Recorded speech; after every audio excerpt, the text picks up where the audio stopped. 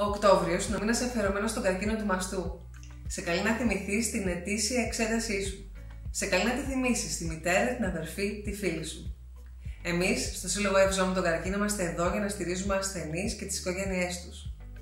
Όμως χρειαζόμαστε και σένα, ειδικά φέτος πιο πολύ από ποτέ. Άκου τι έχεις να κάνεις.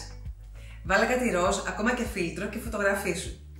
Στήριξέ μας με 5 ευρώ, συνδρομή που θα έδινες στο ραν του συλλόγου, που φέτος λόγω της πανδημίας δεν θα γίνει.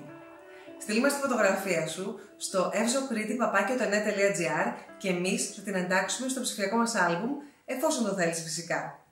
Έτσι θα έχεις στηρίξει σημαντικά εμάς που στηρίζουμε γυναίκες και άντρες με νεοπλασματική νόσο.